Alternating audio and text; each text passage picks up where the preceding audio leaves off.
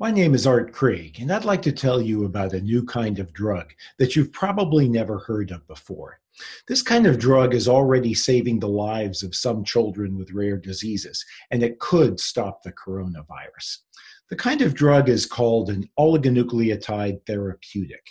And I'm a member of the Oligonucleotide Therapeutic Society, an international group of scientists around the world who are developing these technologies to treat disease.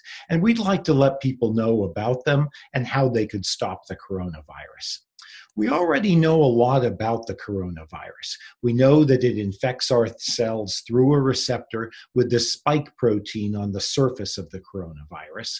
And once inside our cells, it injects its RNA into the cell, hijacking the cell and forcing it to make many copies of the viral protein and more copies of the viral RNA, which then form new viral particles that come out of that cell, infecting other cells in our body. And when we cough, off, they can go and they can infect other people too. So we have to stop this process. And we could stop it either at the surface of the cell before the virus comes in, inside the cell at the RNA, or targeting the protein. And traditional drugs target proteins, but proteins have very complex structures. There's no simple rules that they follow. And traditional drug programs take a long time 10 years and have a high failure rate. We can't afford all that time in the setting of a pandemic. So we need to look to the science that tells us that proteins are spelled out in the genetic code made up of only four letters A, C, G, and T, which are called nucleotides. And these follow simple rules. And the recipe for each protein is contained in the code of RNA molecules. And all of those recipes for all of the proteins in our entire body that we'll ever need in our life are contained in the DNA in our cell. And we can think of that as a kind of master cookbook. Now, with all of the scientific advances in recent years, we can now read these nucleotide letters. And with new advances in oligonucleotide technologies, we can write the letters by making synthetic oligonucleotides out of these nucleotide building blocks. And so now, knowing these rules, we can actually target disease at the level of RNA. And we can identify a single disease associated RNA and make an oligonucleotide therapeutic to bind to that RNA and prevent the protein from being made. And this doesn't change the DNA cookbook, it just acts at the level of RNA. It sounds like a great idea, and it was first proposed 40 years ago. It took a long time to make it work, and at first it was failure after failure. But in the last four years, there are now eight oligonucleotide drugs that have been approved to treat diseases where there were no treatments before, like spinal muscular atrophy and Duchenne muscular dystrophy, where these drugs are saving lives. And using these technologies that have been developed, hundreds more programs are in to treat many other diseases, and many new companies are using these technologies in that way. But what about situations where there's a unique disease that only affects one person? This is Mila's story. Mila was six when she was diagnosed with Batten disease, a rare disease that's fatal and there's no treatment. Dr. Tim Yu at Boston Children's Hospital read the sequence of Mila's DNA and found a mistake, a mutation. And he realized that that could be treated with an oligonucleotide therapeutic. And working together with members of the OTS, they developed one for Mila in under a year, showing the speed of these technologies now to treat that. But there are many more people like Mila who could benefit from unique drugs just to treat their disease that doesn't occur in anyone else in the world. And so there's a foundation n-Lorem to now bring these customized oligonucleotides to more patients who could benefit. And the OTS is working with other stakeholders to bring these technologies to more individual people. So if these technologies are powerful enough to do this for a single person, what can they do? Do with the coronavirus. Scientists around the world and biotech companies started applying these oligonucleotide therapeutic technologies to the coronavirus. And so we can now block the virus by more than 90% in cells in a petri dish. Will that be enough to stop the virus in a person?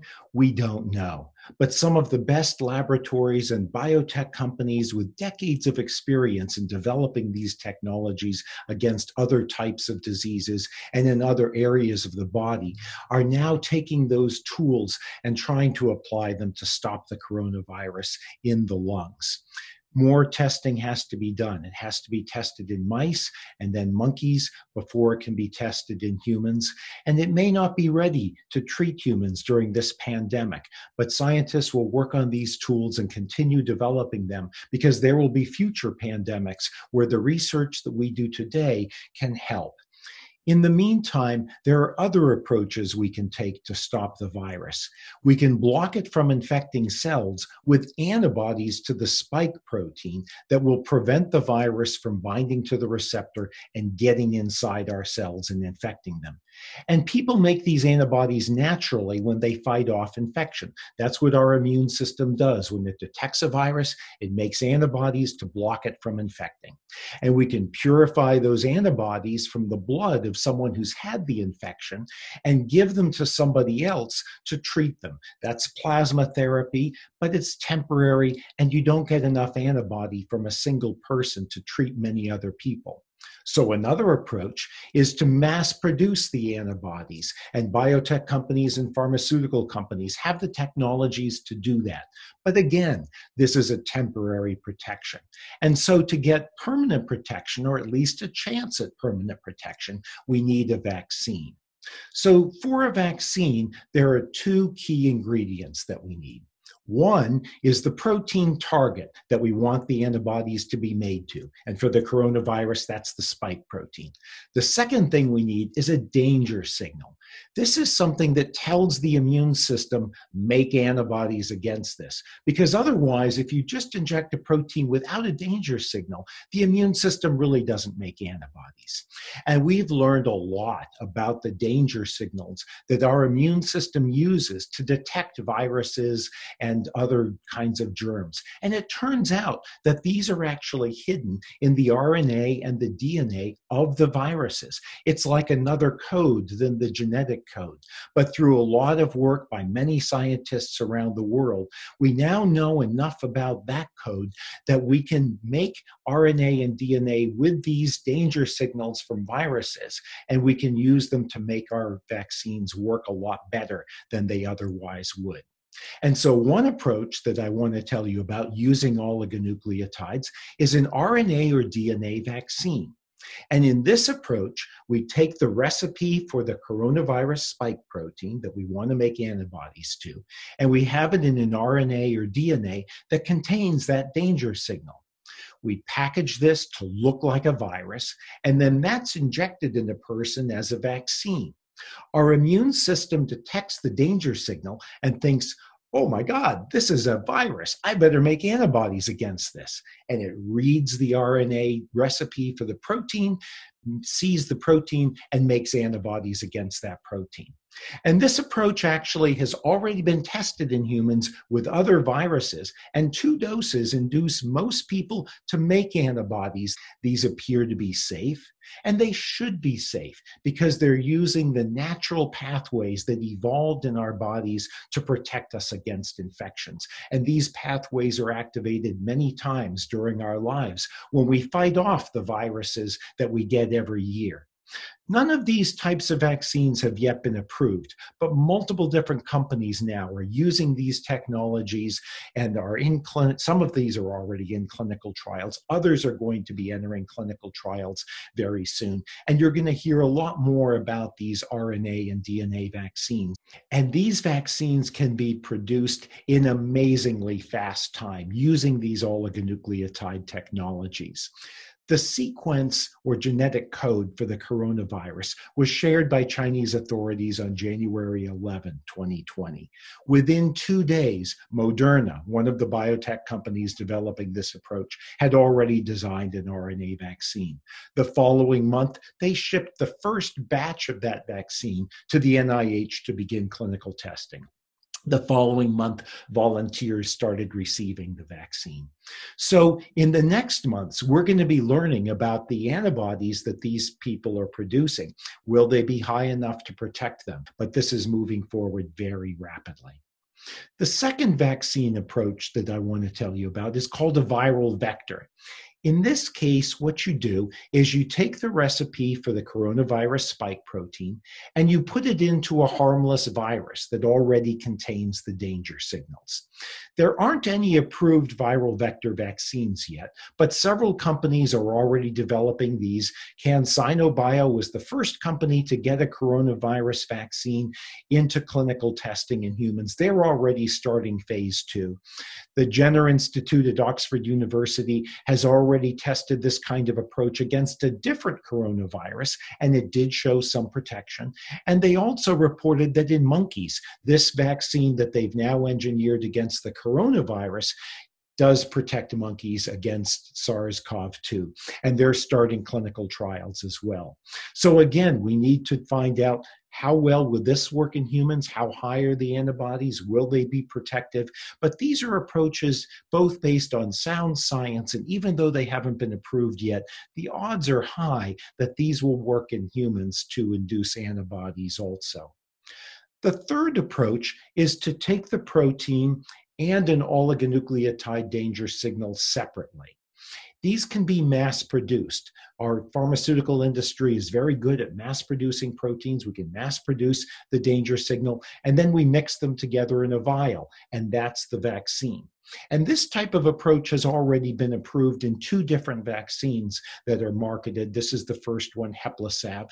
And the advantage of these vaccines over traditional vaccines that were used in the past, the traditional hepatitis B vaccines take three doses and more than six months to, to protect people.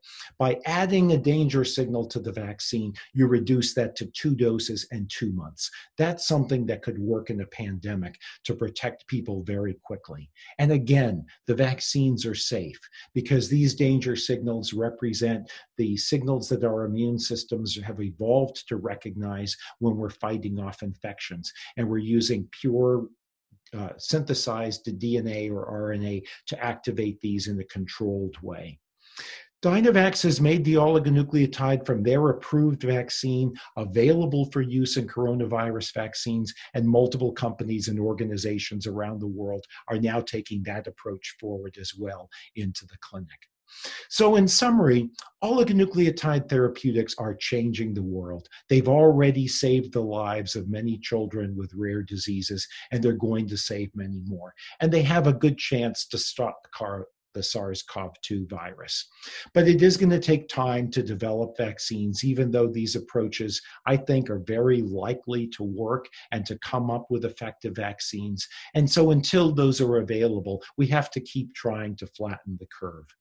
Scientists and companies developing these technologies are going to continue the work on improving them even after this pandemic is gone because they can help many more diseases. And there will be future pandemics, and we will have better technologies then to treat them faster and even more effectively than we can today. So I hope you've learned something from this and uh, enjoyed it. And if so, please share it with a friend. If you're interested in learning more, follow the OTS on Twitter or check out our website where there are many more information sources on these amazing oligonucleotide therapeutic technologies.